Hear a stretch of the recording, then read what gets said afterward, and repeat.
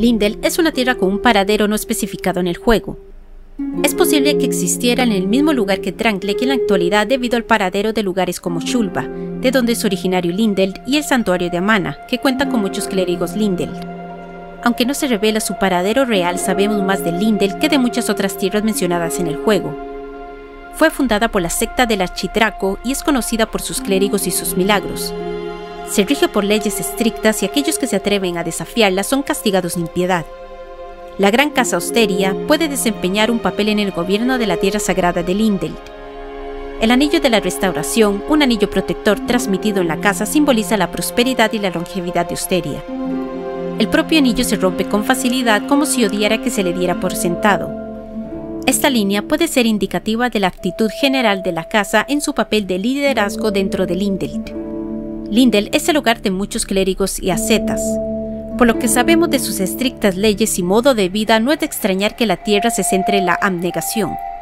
Al parecer, este modo de vida es alabado en Lindel, ya que los habitantes y ascetas son enviados a menudo a tierras lejanas para hacer proselitismo y autoformarse. Sin embargo, muchos de ellos deciden no regresar y liberarse de las enseñanzas de Lindel en el proceso, probablemente después de darse cuenta de que la situación en Lindel es menos que favorable en comparación con la de otras tierras. Los clérigos de Lindel suelen ser caballeros decididos que luchan en primera línea. Existe una historia transmitida de generación en generación que afirma que esta banda de caballeros derribó una vez un dragón venenoso que amenazaba toda una nación. Sin embargo, aunque esto parece indicar que Lindel fue fundada por los caballeros de sangre de Draco, parece más probable que esta historia se iniciara como una mentira para ocultar la verdad de los orígenes de la Tierra, basándose en otras descripciones de objetos. Un clérigo notable de Lindel es el clérigo Forcel. Era un maestro de los milagros que luchó en batallas por todas las tierras. Sus aliados le llamaban Caballero Santo, pero sus enemigos le temían por sus poderes demoníacos.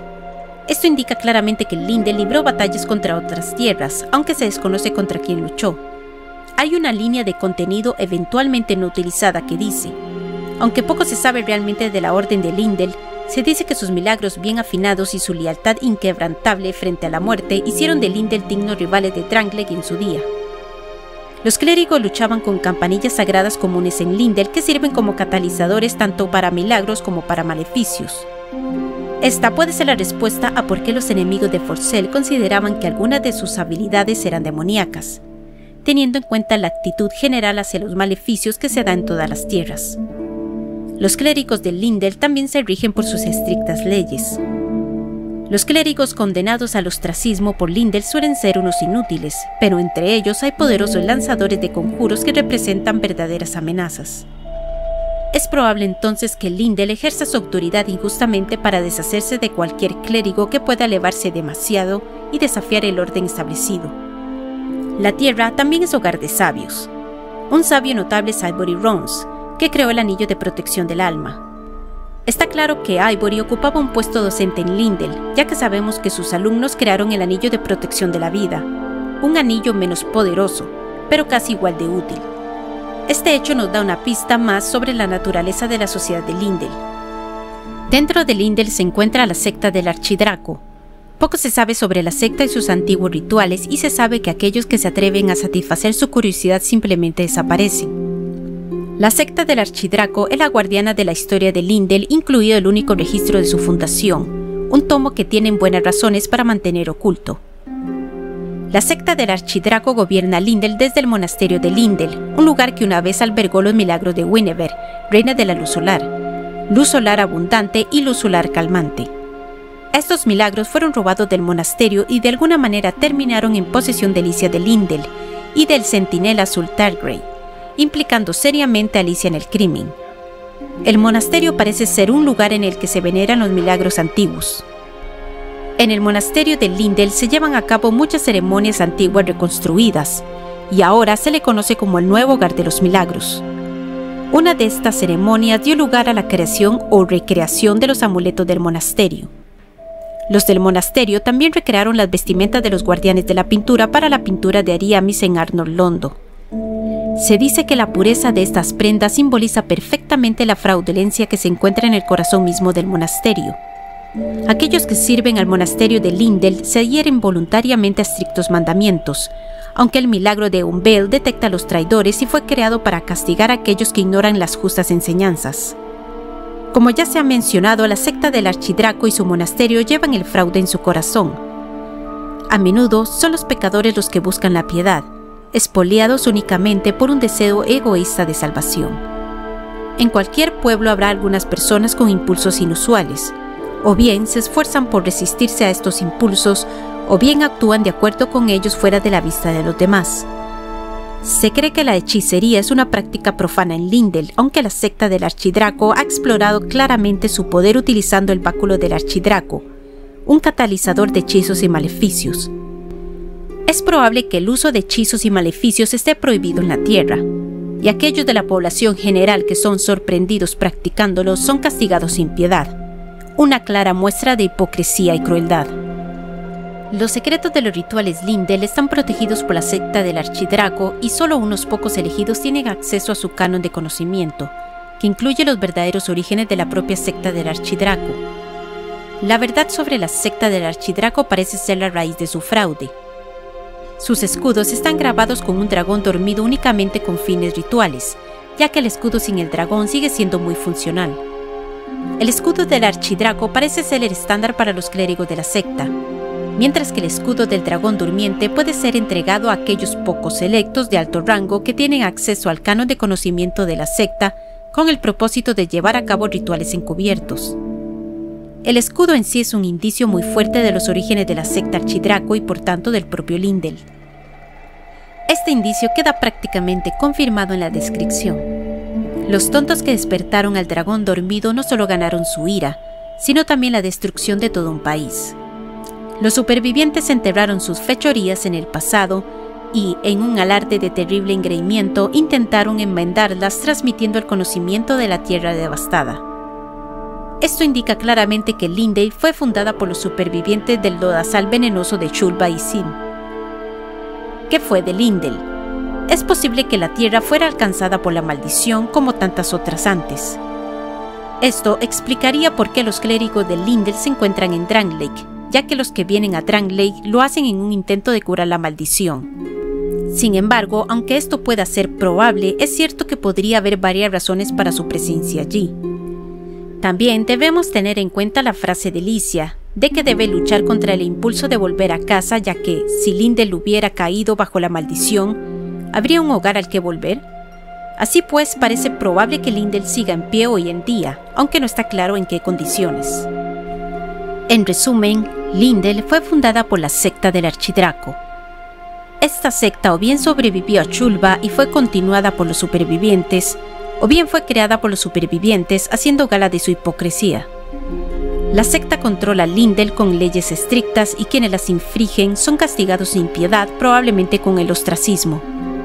Esto le daría un pretexto para expulsar a cualquiera que no estuviera de acuerdo con las leyes y en última instancia controlar la tierra de manera eficiente.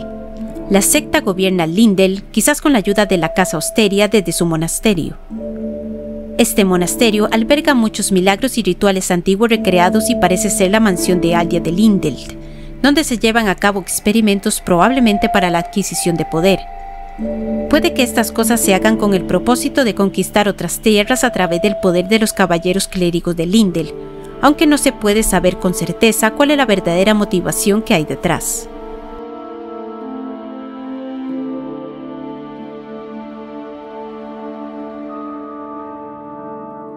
Melfi es una tierra del sur donde prospera la hechicería y la piromancia, conocida principalmente por la Academia o Academias de Magia Melfiana. Los orígenes de Melfia se remontan a Dranglake.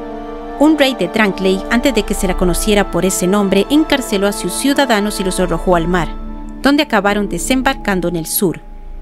Es probable que este rey fuera Albis de Olafis, ya que hay ciertos paralelismos que podemos trazar. Se dice que el rey estaba atormentado por el miedo y la desconfianza.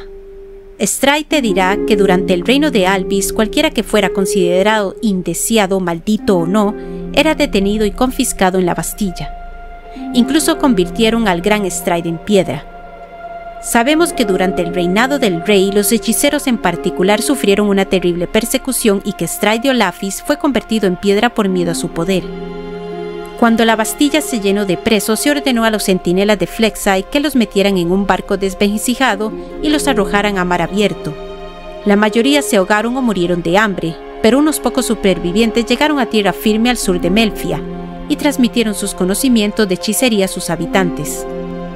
La descripción del anillo de la cresta del dragón durmiente nos dice que los fundadores de las academias eran hombres pecadores, o al menos así los consideraba el injusto rey de la época, que vinieron del otro lado de los mares del norte, lo que tiene sentido ya que Drankley está al norte de Melfia. Las hechicerías que dejaron atrás eran fragmentarias y apenas legibles, lo que provocó la pérdida de gran parte de su sabiduría. De nuevo, esto tiene sentido ya que estos hechiceros sufrieron una fuerte persecución durante su estancia en Drangleic, y tanto si escondieron, quemaron o se llevaron sus hechizos con ellos, todas estas acciones contribuyeron a la pérdida del conocimiento general sobre hechicería en Drangleic, hasta el punto de que nunca se recuperó por completo. Los fundamentos de la hechicería en Drangleic deben ser enseñados por Carillion del Redil, un ex miembro de la Academia de Magia Melfiana. Al parecer, Olenfur, el hechicero, era el líder del grupo de desarrapados que sobrevivió al angustioso exilio por mar hasta llegar a tierra en las costas de Melfia. Hasta el día de hoy, Olenfur es venerado como el padre de la hechicería en Melfia. La leyenda dice que buscaba conocimientos que sobrepasaban los conocimientos de la humanidad, por lo que se aventuró en la cripta de los no muertos y acabó con su humanidad. Lo que estas líneas significan no está claro, pero la descripción continúa diciendo que algunos sostienen la teoría de que las hechicerías y piromancias de Melfia se originaron dentro de los límites de Drangleic en épocas pasadas. Esto confirma los orígenes de Melfia y el papel que Olenford desempeñó en su creación y en la de la academia. Está claro que Olenford era un hechicero que buscaba explorar los límites de la hechicería y por lo tanto es probable que estableciera las raíces de lo que un día se convertiría en la academia, o Academia de Magia de Melfia en su búsqueda de nuevos conocimientos pero en última instancia su visión fue torcida y casi destruida a lo largo de la historia de Melfia. Desde estos humildes comienzos, los náufragos supervivientes de Olafis transmitieron sus conocimientos de hechicería a las gentes que ya vivían en la tierra que se convertiría en Melfia. Puede que los habitantes originales de Melfia ya fueran prodigiosos usuarios de la piromancia, lo que explicaría el doble interés de Melfia por las artes, o puede que los supervivientes de Olafis trajeran consigo la piromancia, como se sugiere en la descripción del bastón de Olenford. Como ocurre en muchas otras tierras, cuando se centra la atención en una, o dos en este caso, formas de magia, las demás son rechazadas o incluso proscritas. Así ocurre en Melfia, donde el uso de los milagros no tiene cabida en la sociedad. Tal vez este disgusto con los milagros surgió de su disgusto con Olafis, cuya magia dominante puede haber sido los milagros. Las correlaciones entre el trato de Olafis a los portadores de la maldición y el de la Vía Blanca son inquietamente similares. Los miembros de las academias de Melfia llegaron a negar la existencia misma de Guinevere, lo que podemos estar seguros de que es falso. La descripción del ítem bendición divina enfatiza aún más la falsedad de Melfia al afirmar, en cualquier época hay quienes se niegan a entrar en razón. Son sus intromisiones las que distorsionan la verdad. Curiosamente es en Melfia donde se originan las urnas del rayo. El rayo estaba en la esencia de Wynne y su descendencia, cuya existencia niega la academia puede que las urnas del rayo se crearan como un intento de incorporar el poder de los milagros a Melfia, sin reconocer sus orígenes. Junto con el desprecio por los milagros de los habitantes de Melfia, la Academia siente aversión por todo lo que esté vagamente relacionado con la lucha con espadas. Los puristas de la Academia moderna consideran que la lucha con espadas es de naturaleza bárbara y se burlan de quienes las practican. Hay indicios de que en algún tiempo la lucha con espada y la hechicería se combinaron en la tierra de Melfia, quizá en la época en que los nuevos supervivientes y los antiguos habitantes se fusionaron en un solo pueblo. El origen de la versión de Melfi hacia el manejo de la espada puede estar relacionado, una vez más, con el trato que recibieron los hechiceros en Olafis antes de su expulsión. Tendría sentido que los guerreros de Olafis empuñaran armas contra los hechiceros, sobre todo si se trataba de una orden de caballeros clérigos. Alternativamente, sus actitudes trazan fuertes paralelismos con las de la Escuela de Dragones de Bingheim, y puede tener sus raíces en ese antiguo prejuicio que todos los hechiceros puros parecen compartir. Así, los supervivientes de Olafis y los habitantes de Melfia se establecieron en la Tierra, atrincherándose con todos sus prejuicios y habilidades. A lo largo de la larga historia de la Tierra, la Academia de Magia y su profesorado se han disuelto y restablecido al menos una docena de veces. Conocemos a varios profesores y alumnos de la Academia Moderna. El primero es Carillion del Pliegue. Carillion es un miembro de la antigua facultad, quizás llamada el Pliegue, pero es muy atípico de la cultura general que allí se encuentra. Piromante Glocken es otro profesor de las academias. Sus logros son indicativos del estado en que se encuentra la academia y la razón de la marcha de Carilio. Rosabeth de Melfia es alumna del piromante Glocken. Es una prodigiosa piromante, pero no tiene la inteligencia para aprender hechicería a pesar de su interés por ella. Estos son los miembros confirmados de la academia que conocemos.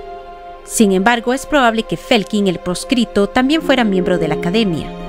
Se marchó porque ni la piromancia ni la hechicería le atraían, fue dentro de la academia donde descubrió la oscuridad y este descubrimiento le llevó a Lake, donde la oscuridad es más profunda que en ningún otro lugar.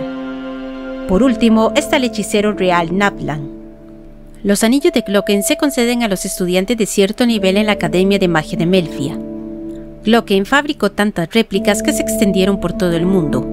Por ello recibió muchas críticas y duras reprimendas de sus compañeros magos, el conservador profesorado de la vieja guardia por sobocar las lecciones obtenidas de un duro entrenamiento. De todo esto podemos sacar algunas conclusiones sobre la Academia de Magia de Melfia. Una fuerte tensión entre el viejo profesorado purista y conservador y profesores como el piromante Glocken está desgarrando la institución, causando muchas pequeñas disputas. En su estado actual, la academia solo busca obtener beneficios y no tiene ningún interés real en explorar las profundidades de la hechicería o descubrir cosas hasta ahora desconocidas.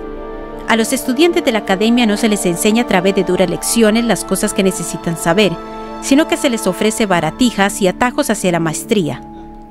Este enfoque contradice casi directamente los principios sobre los que se fundó originalmente la academia y parece haber provocado que muchos de los estudiantes de la misma abandonaran su aprendizaje. Ejemplos de ellos son Felkin y Rosabeth. Quizás esto explique los orígenes de los astrólogos en Melfia. Estos astrólogos creen que se pueden obtener poderes mágicos en momentos de especial alineación celestial. Podría interpretarse que estos eruditos creen lo que hacen por ignorancia, debido a la mala calidad de la enseñanza que se encuentra en Melfia. El estado actual de Melfia es desolador desde la perspectiva de alguien que busque realmente el conocimiento, y por ello no es de extrañar que Carillion considere a Melfia como una tierra abandonada.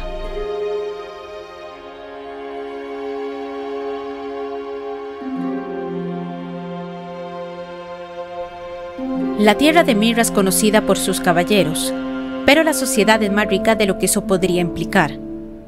Mirra está rodeada de enemigos y en guerra constante. Solo hay una forma de ascender en Mirra, unirse a la orden y demostrar tu valía en la batalla. Muchos son educados para empuñar una espada desde su nacimiento. Solo aquellos que se han distinguido en el campo de batalla son admitidos en la fila de élite de la Orden Oficial de Caballeros de Mirra. Es habitual oír hablar del sueño de un campesino de aspirar a caballero como vía de escape a las penurias. Pero, ¿quién lo creería posible? En Mirra, una tierra acusada perennemente por los disturbios, este escudo era un símbolo de la fuerza de los grandes caballeros y de su voluntad de dar la vida por su país. Se espera de los caballeros de Mirra que luchen honorablemente, confiando únicamente en la habilidad con la espada. Solo recurren a la magia la única vez que realmente la necesitan, para enfrentarse a la magia de un enemigo. La barrera mágica es un milagro que aumenta las resistencias al daño elemental. Este milagro era común entre los caballeros magos de Mirra. En Mirra, la tierra de los caballeros, también existe una orden de caballeros de las sombras que lleven a cabo asesinatos al amparo de la oscuridad. Aquellos que huyeron incluso de la orden de los caballeros de las sombras rechazaron toda forma de honor y recurrieron al indecoroso trabajo mercenario. Los caballeros de las sombras utilizan cualquier medio necesario para cumplir sus órdenes. Ejecutan en silencio tareas inconfesables. En la antigua capital de Mirra, un antiguo manantial bien protegido produce agua bendita, pero el agua ha sido difícil de adquirir desde que Mirra se volvió envuelta en la guerra.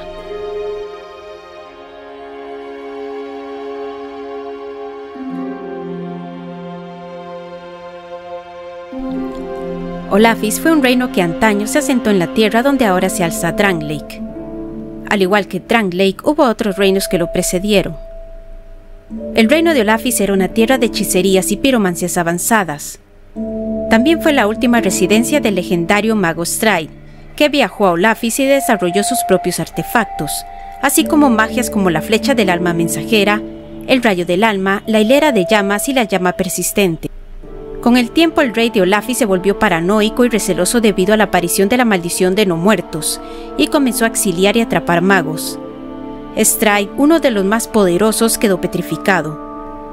Como Stride nunca había compartido sus hechizos ni tomado un aprendiz, sus enseñanzas se perdieron hasta que el portador de la maldición lo encontró y revirtió su petrificación.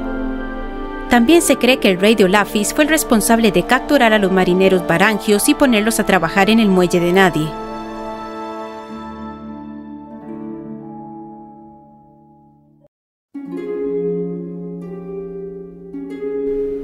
Volgen es una tierra al oeste de Drang Lake. Es un lugar animado famoso por sus mercaderes. Hay grandes y bulliciosas ciudades vibrantes de comercio. Se dice que es muy competitivo y el soborno es una necesidad para llegar a cualquier parte. Los clérigos de la gran ciudad de Volgen están perennemente enzarzados en escandalosas luchas por el poder, pero entre ellos quedan unos pocos nobles íntegros y de voluntad fuerte. Los soldados domésticos de Volgen son infamemente tímidos por lo que la feroz banda de halconeros mercenarios fue contratada para compensar. En la práctica sirven como guardaespaldas de la élite acomodada y sirven bien, tanto que nadie se atreve a escudriñar sus antecedentes. Espero que lo hayas disfrutado. No olvides darle like, suscribirte, dejar tus comentarios y compartirlo. Babytos.